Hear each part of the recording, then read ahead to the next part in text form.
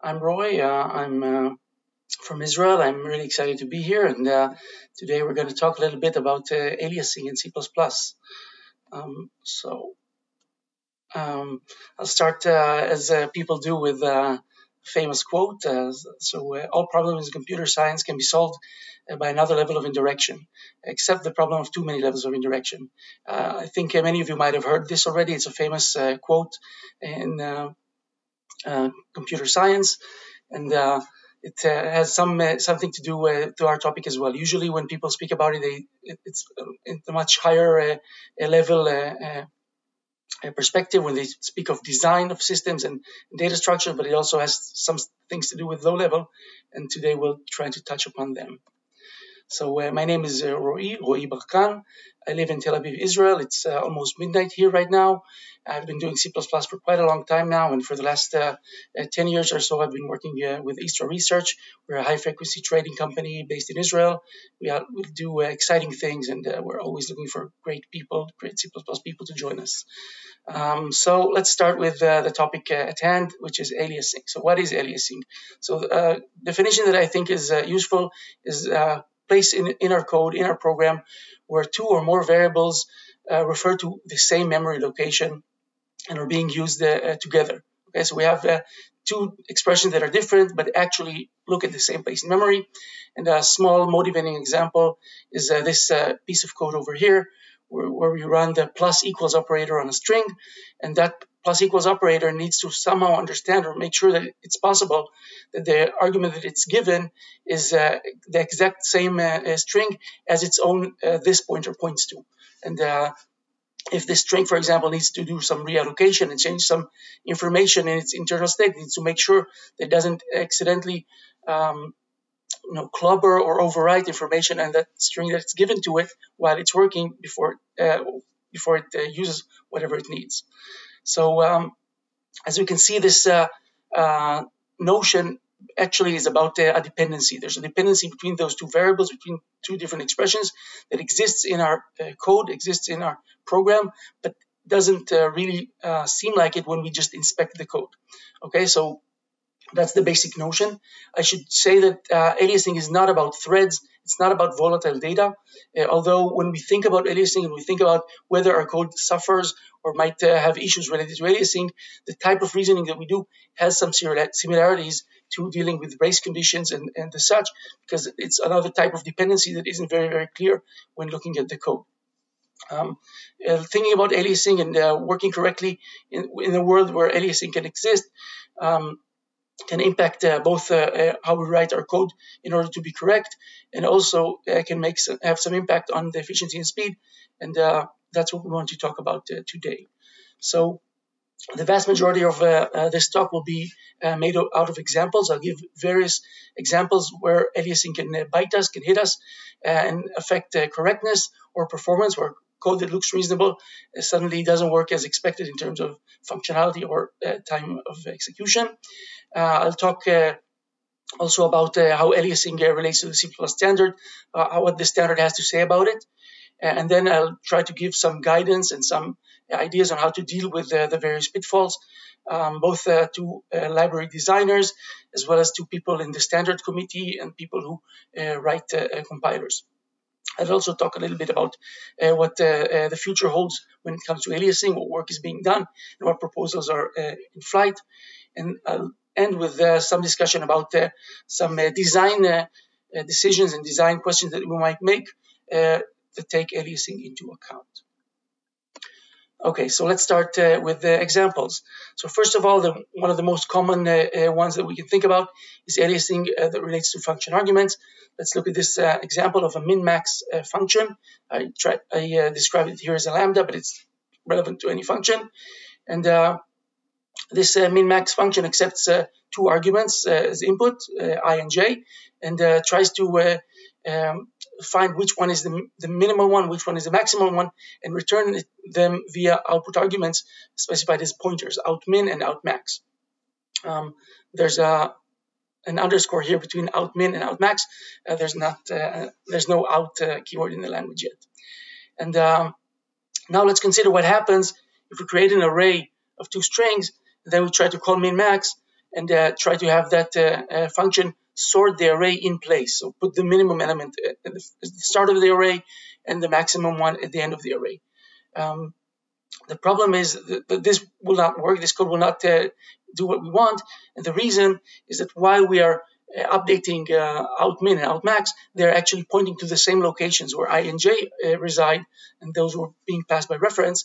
And that that and for that reason, when I write uh, 1111 into array 0, which is out min, it will basically overwrite the 2222 number, and uh, that way it'll just be ruined, and the second uh, max calculation will not uh, even consider 222 as uh, uh, one of its candidates. Similarly, this can happen not just with pointers, but also with references. Here's another example of a, a concat function or a concat lambda that accepts one string and many other arguments and just tries to add them all together into one concatenated um, result. And uh, we can see that there's some use of lam of uh, fold expression, but that's not the main thing here. The main thing is that, again that uh, if we write or try to run this concat with a variable x that says hello and try to concat uh, world to it, and then again uh, the word hello, um, we, we won't get the expected result because uh, yet again uh, x will be changed by the start of the fold expression, and this will affect the rest of the fold expression. Okay, so again, in this first example, we expected to get to sort the array and have a, a 1, 1, 1, 1 in the first member and 2, 2, 2, 2 in the second. And uh, in the second example, we expected to get uh, uh, the hello world hello result. Let's go to uh, uh, Compiler Explorer and see that the result is not as we expected, uh, where instead of 2222, we received 1111 as the maximum element, and uh, instead of hello world, we, received hello world, hello world a second time. So this is a little tricky, but uh, I hope uh, that uh, by the next example or two you uh, get the hang of it. Uh, and again, aliasing, but not just with arguments, but, but with other places in the code. So this example is aliasing with a member variable. So the complex class in STL is very, very similar to an STD pair. Okay, it basically holds uh, two members, one for the real and the other for the imaginary part. And if I take a complex number, for example, 2 plus 2i, and I want to multiply it by its real value, in this example, I would expect to see uh, 2, 2, uh, 2 plus 2i become 4 plus 4i. I will get uh, an unexpected result, again, because um, I'm trying to uh, multiply x by one of its own members. So there's aliasing between the argument of this multiplication and one of the members of the class. Okay, similarly, another example is uh, with lambda closures. Um, again, here I want to uh, add some constant value to all members of a container. I use uh, the for each algorithm, and the lambda will add uh, the value to each and every um, item in the in the sequence. And again, because it get, gets passed by reference, uh, if I expected to start with one, two, three, and uh, get a result of uh, two, three, four, just add one to each and every element, I will get some unexpected result here. Okay. Um, Let's see this example again in Compiler Explorer, and we can see that uh, instead of 4, 4, we received, we got 4, 8, okay, because the uh, real value, which was 2, was multiplied by 2 and we received 4, and then the imaginary part, which was 2, now gets multiplied by 4 instead of getting multiplied by 2. And with the add2all example, again, instead of 2, 3, 4, we get uh, 2, 4, 5, because once uh, the V0 gets uh, modified, uh, there's no way uh, going around it, and the, the, rest of the values will get uh, added. Will get have two added to them. Okay, so that's again some more examples, and this is a good um, time to mention that this is all perfectly legal C++. This is not undefined behavior. This is the way that the standard uh, is uh, defined and declared. Uh, so let's go to uh, yet another example, this time not with just objects, but with buffers, arrays of memories uh, that need to work with. And let's uh, try to implement something that uh, looks like a memcopy, where we take Uh, two buffers and try to copy information from one to another. This is so loop copy is my attempt to implement uh, um, copying of buffers from one to another. Again, we receive a destination and a source, and in, with, in a while loop, I just try to copy a character by character, one by one, from start to finish. Um, and let's write uh, some test some test code that tries to see to, to get the sense of what this loop copy does. So in the test code, I'll create a long buffer having the word hello in it and an extra space in it. And I want to, and my objective here is to move this hello one character to the left to, have another space in front of it. So I try to call the function f, the loop copy, for example, to move uh, the information one character to the uh, yeah to the right, sorry, and and then put a space in the uh, in the uh, location that I just freed up. And uh, again, I expect to see space and then hello and then a space but uh, I will not. Uh, that's not the results that I will get, right? Um, we already seen that that when we uh, run our own loop copy code, instead of getting a space and hello, I'll get a space and then h h h h h. And when we look at the code like this, it uh, I think should be uh, quite uh, easily understood. That once we copy the first in, on the first iteration, we copy the h to overwrite the e. Then we'll copy this overwritten h to overwrite uh, the L, and again, the L again, uh, and the O. And we basically ruined our input information, input argument completely. Let's uh, try doing the same with the standard functions from the C and C++ language. Okay, so strcpy. let's see how it behaves with the same input. So again, we can see it's not uh, as good as uh, as we like. It's not uh, doesn't look like paradise. Um, if we go for strncpy, that's a different uh, uh, uh, function in the, the, standard. It actually looks looks quite good. Memcopy looks quite good, as well as memmove. Let's go from C to C++ and use the copy-n STL algorithm. And we can see that it also looks pretty good, which is nice. Um, there's a Google link here below to see all these examples. Um, so now we know a little bit about uh, the standard uh, uh, library and the standard functions, but that's actually not really the case. If we move from Clang 14 to a different compiler, for example, ICC, suddenly we see that the memcopy also starts uh, uh, misbehaving. And the reason is that uh, when we do aliasing, many of those functions, they are, it's not that they have a um, distinct known behavior, they're actually undefined behavior. And uh, the standard, if, if we have the standard look at the, all these uh, code examples, the loop copy, we know it's bad. We know exactly how it works. When it comes to str copy, strn copy, uh, and mem copy, it's just documented as undefined behavior. Even if things look good right now as in strn copy, it's actually just uh, sheer luck and there's no guarantees around that. And memmove is the only one that's guaranteed by the standard to work on these cases to be aliasing safe. And uh, uh, copy n is uh, documented as uh, not as undefined behavior, but as an implementation defined behavior. So each and every implementation, each and every STL uh, can do whatever it wants with uh, those cases. So uh, we need to make sure not to uh, uh, be hit by that. Okay, so that's the example of alias buffers.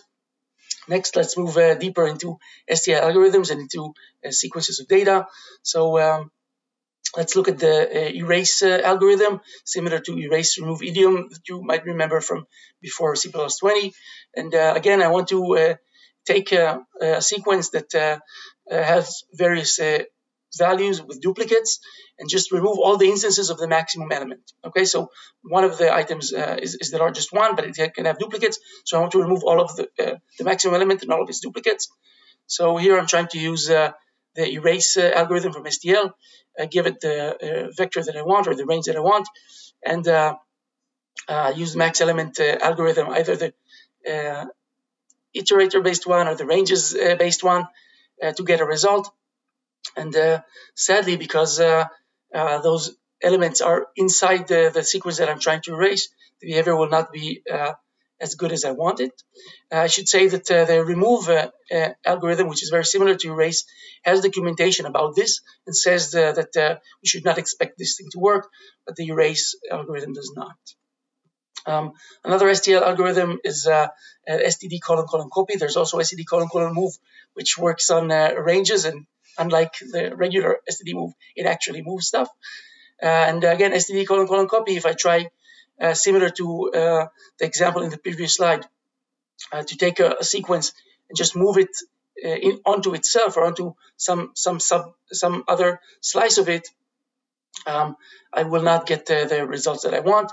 This is documented as faulty. It's not undefined behavior. It's just documented as information defined and faulty. And uh, the documentation also refers to cop the copy backwards algorithm, uh, which can be used instead if I know the, the direction of the aliasing that I might suffer from. Okay.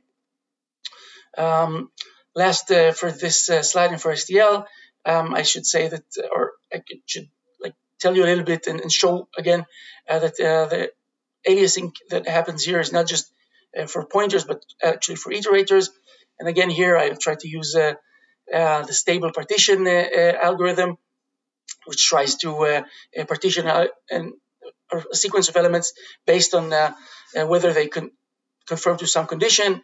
Again, I'll try to take the condition uh, using an iterator by value and, and, comparing all elements in the sequence to it. So my uh, expected result here is to have everything that's uh, um, that's not equal to the uh, to the maximum at the at the start of the sequence, and everything is equal to the at, at the end.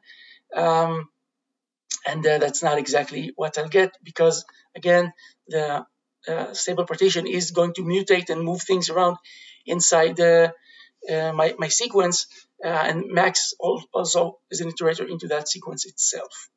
So um, there is a documentation that says that the, the predicates cannot modify the sequence uh, uh, that they are uh, working on uh, themselves. That's considered undefined behavior. But in this case, the uh, the predicate doesn't really modify anything. It just uh, looks at information and returns true or false. But the stable partition itself does the modification for us and hurts us. Okay, so let's look at these three examples. Again, the erase example, the copy example, and the stable partition in Compiler Explorer. And again, with the erase, both with the range, with the iterators max and ranges max, I start with a vector containing uh, three occurrences of the number four, which is the maximum one. I try to call uh, the erase uh, here in line nine. Instead of getting everything uh, erased and being left with one, two, one, three, I'm, I have uh, one, two, one, four, three, four remaining. So uh, things have happened, but not what I expected. And if I uh, try yet again with the ranges max element. Again, it uh, did something, but it didn't do uh, the entire job. We're left with some fours behind, which is not what we expected. If we look at the example related to the copy algorithm and stable partition, again, we wanted to copy as we tried in previous examples, A, B, C, D to the side, and uh, we're stuck with uh, A, B, B, B and uh, we tried to partition and get all the fours just lumped uh, together or at least or moved away from. Um, and again, uh, that's not what we want, but what we received. Okay.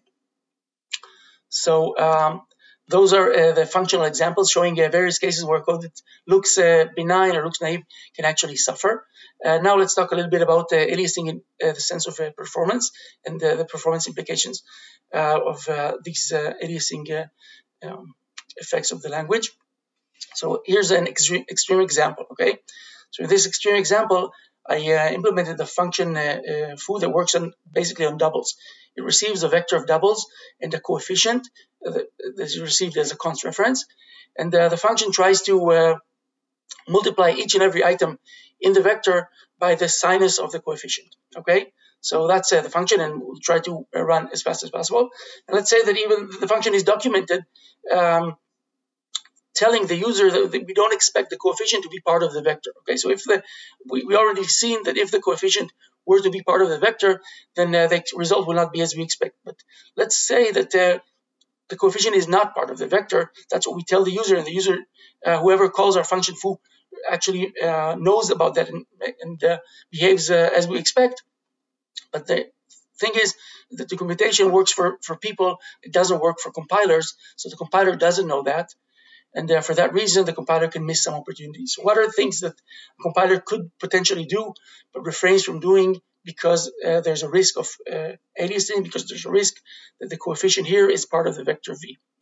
Okay, so first and foremost, there's the notion of uh, deciding what information to store in memory versus registers. Okay, the compiler, one of its jobs is to uh, basically decide how to populate the register bank, what information can be put there, and uh, the thing about uh, registers is that they do not have addresses. Reg registers cannot alias by themselves. So once a compiler decides to move some piece of uh, uh, information or some variable from memory to a register, then uh, immediately it cannot alias. And if there's a risk uh, that uh, that address in memory is also pointed to by another variable, the compiler is suddenly no longer allowed to do as aggressive um, allocation of registers in, instead of using memory each and every time. Um, secondly, there's uh, vectorization. Okay, compilers uh, uh, have uh, uh, know, know how to use uh, cool tricks by the CPUs that allow, for example, to perform several multiplications in one go. Okay, so for example, um, I think most modern most modern CPUs can multiply four doubles or four pairs of doubles at a time, or even eight pairs of doubles at a time, and uh, this is uh, really cool, but the thing is that, that it can only work if we know uh, that uh, while we uh, multiply the first the first pair, it will not affect the, the multiplication of the other three pairs of items that we want to multiply. If there's a risk that as we're working in, in parallel, we're actually modifying the with our result the operands of another multiplication, then I will not be able to do that. And uh, a, a, third uh, missed opportunity for the compiler is what's known as uh, expression hoisting. Okay, in uh, the case, uh, this extreme case over here, the compiler is actually very smart and it knows that the sinus operation is relatively expensive and also that it's uh, what's known as a pure function. Um, if I call sinus a coefficient once, it'll get I'll get the exact same result as if I call it over and over again. So although this sinus call is within a loop, the compiler uh, is usually uh, allowed to consider whether to move the sinus operation out of the loop, to just uh, calculate it once on the coefficient and then only do multiplications uh, on each iteration of the loop. But again, if there's a risk that uh, the item that I'm performing sinus operation on will change as we iterate through the loop, then again, it's illegal. It's, it's not uh, in the compiler's hand to perform this expression hoisting. Okay, so these are three missed opportunities that the compiler uh, cannot uh, perform this uh, kind of code because it doesn't know what we've told our users that the aliasing should not be considered here. And let's again go to Godbolt, and for Godbolt, let's go to Quickbench and see how important it can be in terms of performance. Okay, so in this uh, case, uh, the test by ref code uh, runs a function as we've seen it. And test by val is a very, very similar function, but instead of taking the coefficient argument uh, by reference, it takes the coefficient argument by value. Once the coefficient is received by value, then there's no risk of aliasing, and the compiler can create code 32 times uh, uh, faster, which is amazing. If you've seen talks uh, even earlier this uh, week uh, in the conference about the value semantics and about the writing code that's value based, a lot of it has to do with these sorts of things. Okay. Great. So uh, we've seen all these examples. Let's try to summarize uh, uh, where we are. And we are in a place, hopefully, where we know that aliasing is tricky. Okay, when we look at code, and we, we write code, we don't uh, uh, consider it, and it can lead to unexpected bugs. Um, the general expectation that we have, if I want to use uh, Dave Abrahams' lingo, is independence. We expect some independence between our variables, between our arguments, and that's not what C++ guarantees and compilers they cannot ignore it. Uh, they uh, uh, always need to consider aliasing as something that might happen, even if we document that it shouldn't. Even if our code doesn't have aliasing, the compiler might not know about it, and that can cause some very steep performance loss cases. And uh, just uh, two days ago, we had a talk by Ofek Shilon, uh, was also an astronaut, uh, talking about these types of misoptimizations and about ways to get a sense and get and, and learn from the compiler where these things uh, occurred. And if we write uh, our own libraries, we have to uh, keep that in mind. Uh, think about uh, uh, what our code can do in, term, in cases of aliasing and document it. And whoever uses libraries should try to read the, comment, the documentation. Okay, so the C language was, I believe, the first one that uh, seen many, many issues related to aliasing, and the reason for that is probably because it was the um, uh, the, the, language where uh, arrays were basically uh, collapsed into pointers, and and uh, so everything was a pointer. Uh, an object uh, was a pointer, an array was a pointer, matrices, strings, everything was pointers. and the aliasing were was happening all, all around them. And for that reason, 1999, the C language introduced a new keyword to the standard called restrict. Okay, the restrict keyword uh, basically says uh, something that uh, in the C in C you can decorate uh, an argument or a pointer or an, or an, array with saying that it is restrict. And a code block that has a restrict pointer or an array uh, can only change the data pointed by that uh, restricted pointer array through through that pointer itself. Okay, so it basically means that if I have a pointer that is restrict, the compiler can know that it's undefined behavior. It's not allowed for any piece of the code to change the memory pointed by this pointer by any other means except through that pointer itself. Okay, so that's part of the C language. Most C++ compilers, as you know, can process uh, the C uh, language in the C standard, so they have some non-standard support for restrict. Restrict is not part of C++ language, but many uh, C++ compilers have some ways to support it, and if you like, you can try to use it, although it's not part of the C++ language. Uh, Fortran, by the way, typically treats uh, aliases as undefined behavior, um, but there are compiler switches uh, uh that uh, various customers or, or Fortran user, users asked for to assume aliasing because uh, it, this undefined behavior was not desired by them. Um, newer languages like Swift and Rust, they also try to keep that in mind and have um, very complicated mechanisms to try and track uh, uh, the creation of references to objects uh, and, and, and, to slices of arrays uh, in ways that uh, aims to prohibit the risk of aliasing. And for those reasons, um, it's things that can compile in C++ cannot compile in Rust, but Rust users and Swift users know that the risk of aliasing is not as harsh as it is in C++ for them and for the compilers. Um, let's go move from other languages to C++. Um, so again, uh, C++ uh, did not adopt the, the restrict keyword. Uh, there have been uh, various discussions about it, but the basic uh, notion is that uh, C++ is much more tricky than C, so adopting restrict as is is probably not going to give the value that you might want. Um, if you think about it, first of all, um, restrict is a new uh, argument qualifier. We already have, as you know, a, a const qualify, qualification, volatile qualification, various L uh, value, R value, etc. If we introduce another one, we need to think about uh, how this qualification relates to the other ones, what happens with function overloads. Um, if I template on a type, uh, are, uh, is a restrict uh, a template uh, a different instantiation than non-restrict one? are there any implicit conversions that could be done?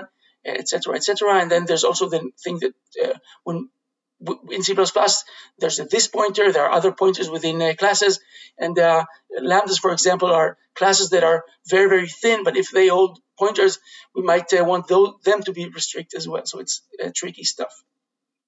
Uh, I should say that in C++ there is a mechanism that should help with aliasing known as the strict aliasing rule.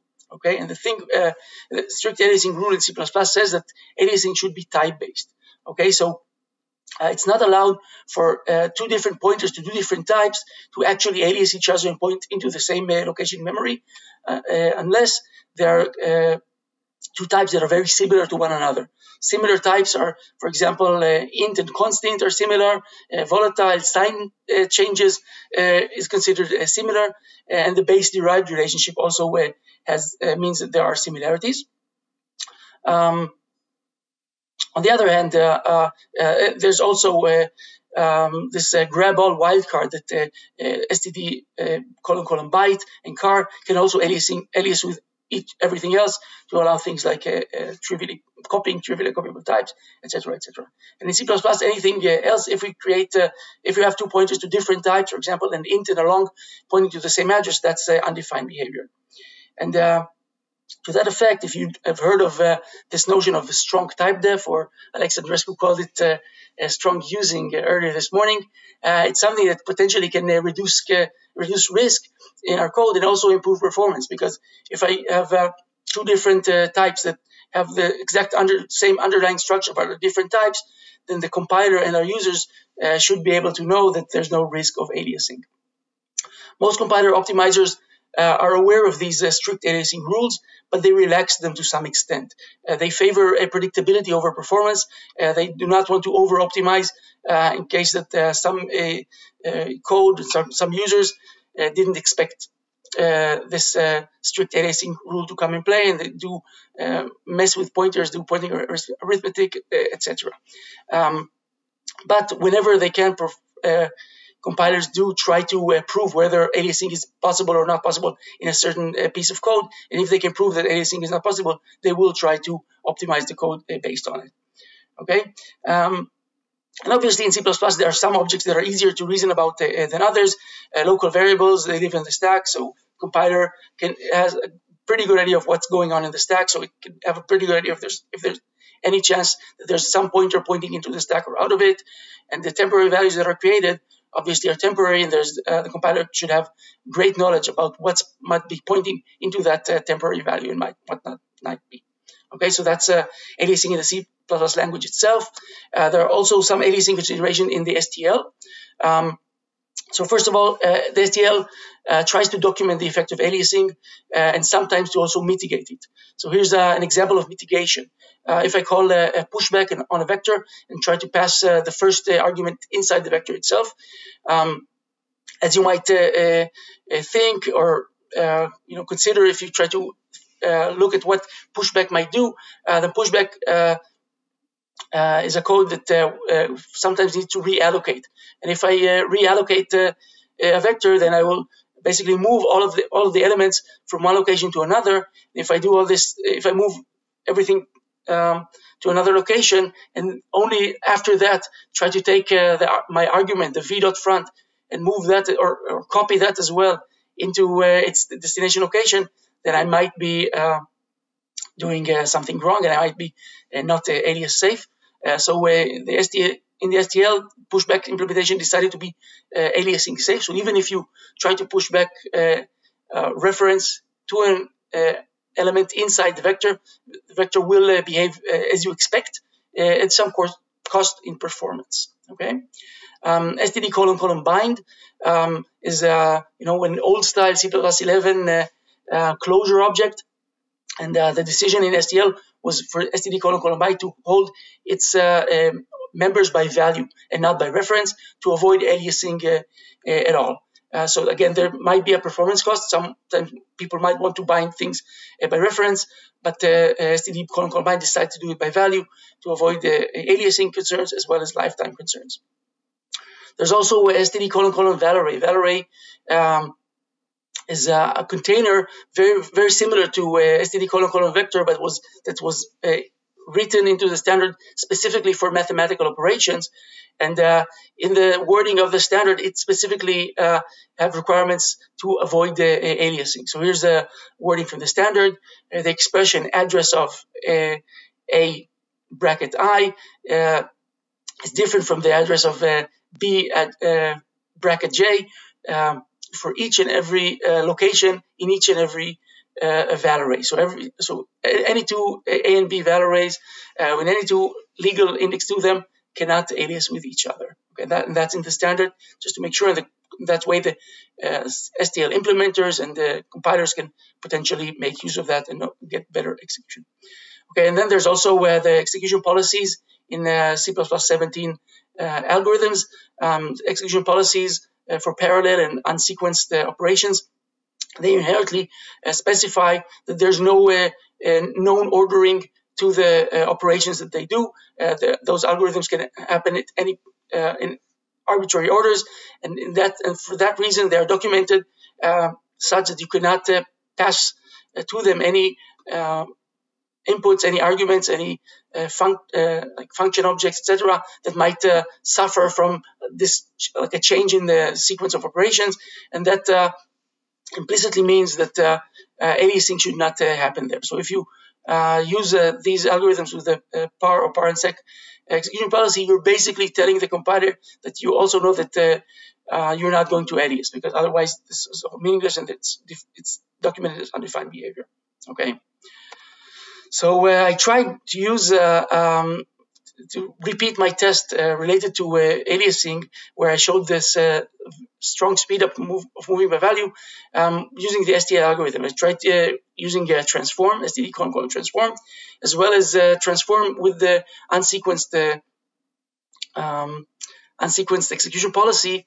And sadly, although the compiler should be allowed to optimize the unsequenced uh, execution. It didn't do it, and we can see that uh, basically uh, just passing things by value is much, much faster in, this, in that zero example that I've shown before.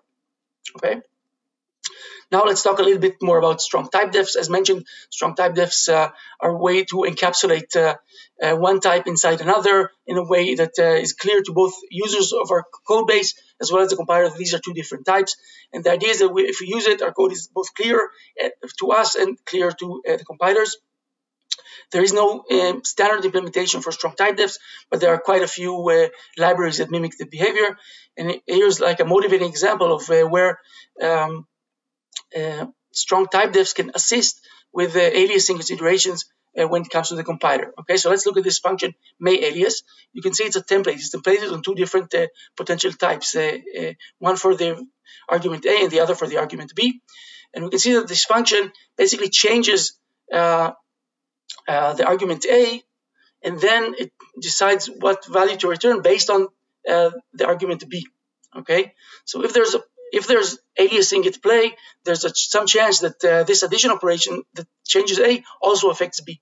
But if there's no aliasing, then there's no such risk. Okay, so now let's uh, instantiate this uh, function first with uh, two arguments of the same type, A and A, that may alias, and then again with two arguments of different types, A and B, that have the exact same structure that are, for example, strong typedefs for uh, integer. And here's what the uh, compiler explorer and compilers have to say. And we can see that uh, uh, the strict aliasing rule actually worked here, and there was a, there is a difference in implementation, and difference actually can lead to better performance. You can see that with the the AA example, um, the compiler didn't really have much choice. It had to uh, load the A for memory, uh, and then it also had uh, to, to compare to do another load and compare the other like the B variable from memory as well. well, on the other hand, if we, we, tell the compiler that the A and B are different types, then things are much better. We can just uh, load uh, once from memory the, the B argument, uh, change A in, in memory itself, and compare the B argument to 2 without con even considering the fact that uh, this add operation could have hurt uh, uh, the value that we've read on the B argument. Okay, so here that's a case where strong typedefs can help the compiler, not just us, understand that there is no chance of aliasing. So uh, how do we avoid the aliasing pitfalls when we write our code? Um, so first of all, uh, as I mentioned, if we just pass things by value, things are much simpler. Okay, value semantics are all the rage. There have been various talks uh, about it uh, in the this conference alone. Um, and uh, if you are not uh, uh, keen on copying things around, you should remember that move semantics and copy elision exist in the in C++, and they can. That, that means that basically um, moving things in and out of functions is can be usually relatively, relatively cheap, and it can give both uh, your users and the compiler more information about uh, aliasing. Um, if you do uh, decide to accept arguments by value, like std colon colon bind, for example, consider supporting std colon colon reference wrapper. Okay, it's also known as std colon colon ref. reference wrappers are um, a way to try and mimic uh, uh, by reference semantics for functions and for calls that expect uh, by value semantics. Okay, and sometimes if my user uh, really insists on doing things by reference, I want to support them. And uh, writing a code that works by value, and, but also accept reference wrappers isn't uh, trivial.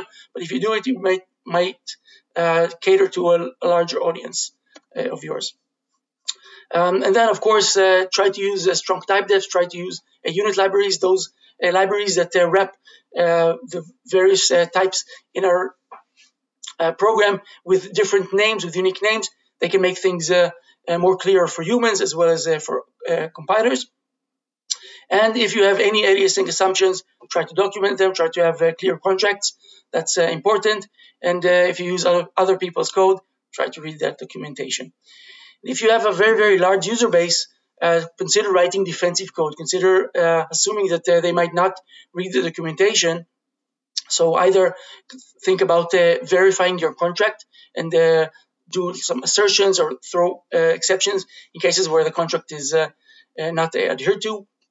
or maybe even try to widen your, your contract, try to make your functions like pushback and vector behave well even in the face of aliasing. Okay, and uh, if it's possible, maybe you can even let uh, uh, the users control your contract. Write a function with a uh, where the user can tell you what which contract it likes. The contract that's by value and might have some extra cost of copying, or the contract that's by reference it might suffer from aliasing. Okay, and let's look for, for some examples of how to write this type of code. Um, so this is like a, a, basic function that I want to uh, ship in my library. It does a, a, an apply operation on a span. Um, tries to again apply a certain operation on each and every item on the span, uh, along with uh, some uh, value that I receive as a const uh, reference. And again, this uh, function I call it unsafe because it is vulnerable to aliasing issues. And I can try and enhance it to be uh, uh, user controlled. Okay, so this is um, my attempt to basically have another extra argument, uh, which is called pass by, where I can uh, uh, let the user choose whether they want to pass by reference, which is the default in my case, or pass by value. And uh, with this trick, I can use the colon colon type here of the different policies and choose whether to take the value as a reference all through the operation or go ahead and copy it into its own value um, in case that uh, that's what the user wanted. Okay, and if the user chooses doing things by value, it's a different compiler inst- it, template instantiation. The user knows about it, the compiler knows about it, everything should be good. And uh, lastly, if I want to uh, uh be, be safe and uh, even not not trust the user to know to know and to tell me about the policy, I can also try and do that. I can use, uh, for example, in this case, std colon colon less uh, equal to uh, compare uh, the, the address of the value v with the addresses of the span. And basically, based on this information, decide whether to work by value or by reference. And if the compiler is very, very smart, they might even know that the by reference call also not, does an alias and optimize that, but that's up to the compiler. Okay, and uh, obviously this uh, check that I've put here is relatively uh, cheap in my case, but there are definitely other cases and other algorithms when doing these types of uh, uh, checks uh, isn't an easy, isn't potentially might not even be possible. Okay, um, so uh, are there any questions about this uh, section about uh, how to write our code in a alias-aware manner? I'll let you write that in the Q&A if you like, and I'll move on um, to talk a little bit about the future of, of C++ there are several proposals that have been in flight uh, for a long time, trying to add uh, more uh, consideration to aliasing semantics into the C++ standard. Um, first of all, we talked about uh, the restrict keyword. So there have been uh, various uh, attempts to add the, the restrict keyword.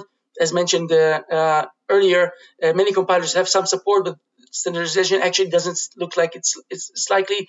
As mentioned, there's quite a few complexities around it. Then there's a a proposal from 2014, a long time ago, called the alias set, which uh, basically tried to uh, let the users add some annotations to their code about the relationships between uh, variables. Okay, and the idea is that if I annotate my code, uh, my variables, uh, my, my, references, my, my pointers, uh, the compiler can use that to know a little bit more about aliasing. I think to some extent, uh, this proposal has some similarities with the, the way uh, that Rust uh, language deals with lifetime. They, they, have their own annotations trying to, uh, again, tell the compiler and whoever uses my code uh, if whether the lifetime and, and the uh, provenance of uh, one uh, object or container relates to the provenance of other iterators, etc. Um, another proposal that's been in, in the pipe for a long time was to add some attributes like, like restrict access to std colon colon span or std colon colon mdspan and uh, use that uh, way to create some specific uh, um, you know specializations of span and mdspan uh, that uh, have these type of restrict semantics. Um, this was again pushed through the committee and then dropped at some point. Again the idea was that there are some types of you know ref with the that have reference semantics where aliasing is really an issue and maybe uh, there was thoughts to uh, deal with it. And again, this is currently stuck in committee, but there are uh, a lot of uh, voices trying to push this forward, uh, at least in mdspan. Then there's another proposal from 2018 called STD colon colon disjoint, uh, which is meant uh, uh, to be related to the contracts proposal as a way to convey that aliasing in a consistent manner. So the idea is that there will be a function called disjoint inside the STL. You can call it with two different or several arguments, and usually you could put it uh, inside the, like a contract, like a precondition. Say that my precondition is that these two arguments or these uh, this, these two uh, uh references are disjoint from uh, one another. So that was the idea, with the intention that it's not that the code will run; it's just an indication to the compiler that if uh, that is like a precondition, if these the arguments are not disjoint, then we're heading for undefined behavior. Um, Lastly, there's a proposal uh, from 2019 by Herb Sutter about lifetime safety. Basically, it's uh, uh, trying to adopt uh, some more uh, uh, core guidelines and static analysis. Um, trying to reach a, a, level where if I write some code that adheres to the core guidelines, there will be static analyzers that will check or alert on cases where I might get aliasing. If I write my code and do not get these warnings, then I know that uh, uh, non-owning pointers cannot alias or cannot be passed as aliases, and potentially with, the, with that information, compilers can also optimize. Um, so now uh, I have a few more minutes where I want to talk about uh, a way where perhaps we might be able to trick uh, the compiler into, you know, thinking or knowing or not taking aliasing into considerations when we don't want the compiler to do it. And uh, the, the approach that I'm trying to take, and I'm telling you in advance that I'm not sure it's going to work, is, uh, is using uh, unions. Okay, unions is basically a mechanism in C and C++ to have several objects put in the same uh, address. So it's very, very similar to aliasing in Notion. but the, the, the catch is that at any point in time, there's only one active member uh, of the union. And if you try to act to access different members, different variable that has the same memory location, this is typically undefined behavior. But there's an asterisk, there's a, a special case. Um, the special case uh, is called the um, uh, standard layout types and corresponding members. Okay, um, the C++ standard says that if you have a union of different types that are very similar to one another, then it might be okay to access both of them at the same time, uh, as a, uh, although one of them is active and the other the others are not. Um, and this potentially implies that strict aliasing rules can have some limits and maybe we can use it and walk around it. Let's uh, uh, tell you quickly uh, what the standard uh, uh, says about it. So the standard basically says that uh, it is allowed to access a member of the non-active member if it's access to members or, or to, to to variables that exist in, ex in the same location. So this is the example here. We can see that struct T1 and T2 have their first members A and C, which are integers, and it is perfectly legal to assign uh, the union with the T1 type and then access the unit union with the T2 type because A and C are corresponding members. Okay. now let's try to use it with a motivating example. Um, so let's say that uh, I have uh, I want to implement a C++ conference. I have uh, uh, an entity system with various uh, C++ persons. Each of them has a name, uh, some level of expertise, and a lot of more information. We want to keep uh, one object in our in memory for each person, and then we want to implement a teach uh, function that uh, goes through all the students and gets them give them a lesson from a teacher. And the lesson from a teacher will basically increase their expertise based on the expertise of the teacher. And uh, here we can see that there's a potential for aliasing from the compiler's point of view because uh, uh, the teacher might alias with the students, but we know that these things cannot happen. And can we use unions to express this and tell the compiler that there is no aliasing? And the idea is that what happens if we create a student and a teacher, which are different types, um, and that are layout compatible, and then an attendee will be a union that's either a teacher or a student, and that way I can somehow um, I use the same uh, uh, object in memory, sometimes as a teacher and sometimes as a student, but the teach function will know that they're not uh, uh used in conjunction and strong uh, aliasing might uh, come to our rescue. And this might be UB, it might not be UB. Let's look at a simpler example where I use the same may alias function that I wrote before, um, but use it with unions. Okay, so I have these two types, A and B, I put them in a union and try to think what happens if I write an alias u function, accepts the union, tries to call may alias with the two members. Okay, I don't have much time, but I still show you that uh, it looks like it works. Okay, if we'll see it, we'll see that ADSA function um, basically knows that uh, there is aliasing. It knows that those two uh, members or variables point to the same uh, location in memory. So it knows to actually compare the value with one. It knows that the value of one, if we multiply it by two, then uh, um, then things will uh, um, will behave as, as, we want them, or then we should return a, a different result. But with alias, uh, with, with the U example, the comparison is done with two, so the compiler assumes that there is strict aliasing, although it's the same uh, pointer, which is really, really tricky stuff. Um, but sadly, different compilers with different uh, uh, optimization levels yield different results. So this means that this is probably UB. I tried to look at the standard and ask some people in the standardese forums uh, about this, and they say that it's UB. I'm not sure exactly why, but that's the case. Uh, I don't really have much time to talk about variant state machines. I will say that um, there are, uh, as mentioned, with unions, it might sometimes be very, very common where we would want uh, a variant to have to have two different types that are actually very, very similar to each other, and you want to uh, maybe switch or compare uh, or switch uh, from one to the other uh, with very very little cost and with zero cost, but it's not uh, really allowed uh, in uh, with SED variant currently because if we want to emplace into a variant, we first destroy or destruct the current active object before trying starting to create a new one, and that's a shame.